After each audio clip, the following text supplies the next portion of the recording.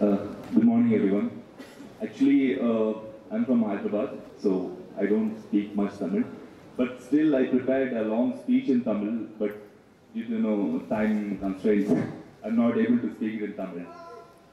Yeah, uh, firstly, I want to thank uh, Pandiraj sir for introducing me to Tamil. Uh, this is my second film uh, with him now.